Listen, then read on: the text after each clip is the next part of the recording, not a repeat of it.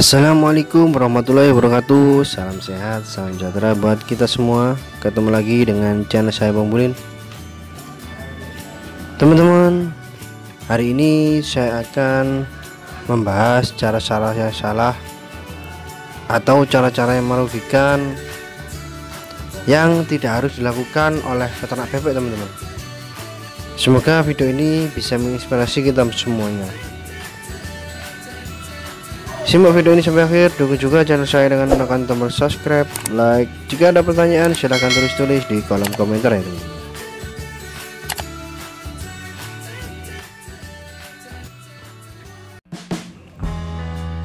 Perlu teman-teman ketahui bahwa ternak yang satu dengan ternak bebek yang lain tidaklah sama teman-teman.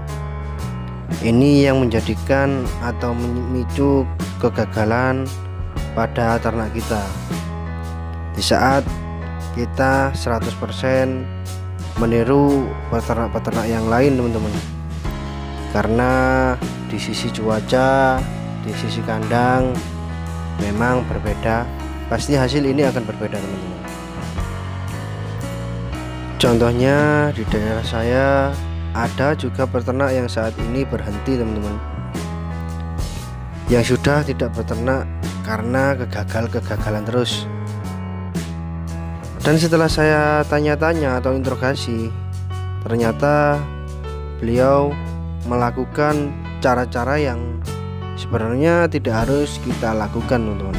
Cara-cara yang salah yang nantinya akan menjadikan kita merugi dan kegagalan teman-teman. Ada sedikit pemahaman dari saya pribadi perihal kesalahan-kesalahan yang saat ini sering dilakukan oleh peternak-peternak pemula ya teman-teman. Yang pertama penggunaan pakan pabrik.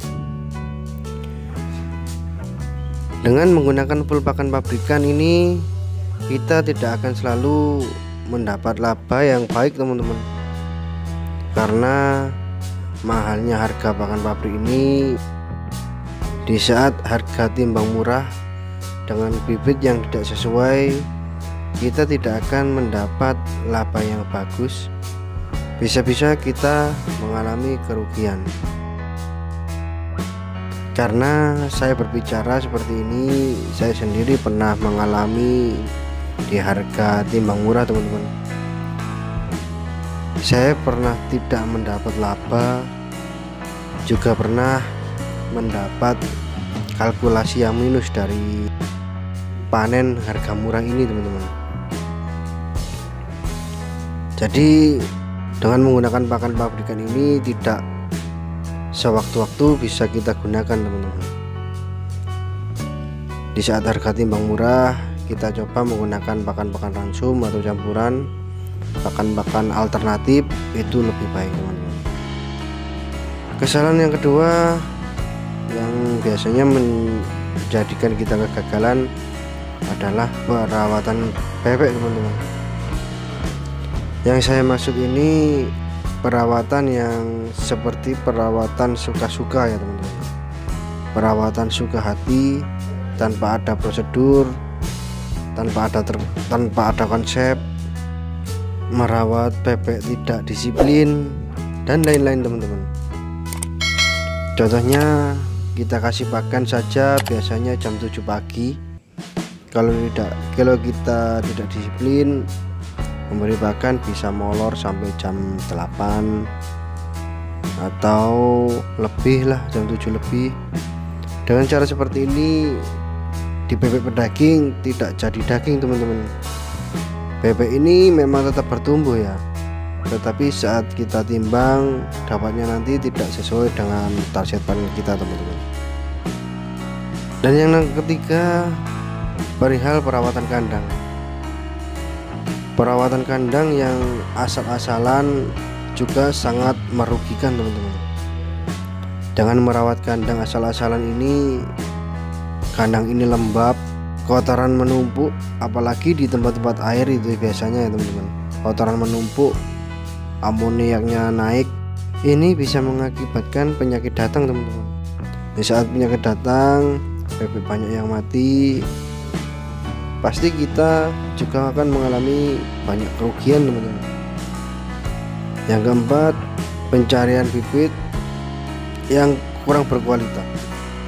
Dengan mencari bibit tanpa mengetahui cikal bakal indukan ini sangat beresiko kegagalan teman-teman teman-teman pemula ini biasanya memilih membeli di pasar di media-media online tanpa mengetahui indukan indukannya ya. Jadi teman-teman tidak mengetahui indukan ini indukan muda atau tua yang sangat berpengaruh pada perkembangan bibit tersebut teman-teman. Karena bibit bibit dari indukan muda ini rawan sekali kematian teman-teman. Apalagi kita tidak bisa menanggulangi bibit yang seperti ini. Ada cara tersendiri teman-teman. Dan yang kelima memahami waktu saat akan memulai ternak bebek. Banyak sekali peternak pemula ini mengawali ternak tanpa mengetahui waktu yang tepat yang nantinya akan mendapati kegagalan. Jadi contohnya seperti ini teman-teman. Baru pertama kali berternak bebek baru belajar eh ternyata panen harga timbang murah. Tanpa ada persiapan pencarian bibit yang harga murah juga dengan pakan full yang bagus jadi pengeluaran membengkak dan panen murah ini pasti mendapati kerugian. Ini yang akan mengakibatkan kegagalan kita teman-teman. Intinya ternak ini seperti roda berputar teman-teman. Ada waktu panen mahal ada waktu panen murah. Begitu juga dari bibit-bibit. Bibit ini juga bisa harga murah harga panen eh, harga mahal juga bisa teman-teman bagi teman-teman yang sudah berjalan lama ya kurang lebih satu tahun dua tahun pasti mengetahui waktu-waktu yang tepat. Tapi untuk teman-teman pemula ini biasanya belum mengetahui ya.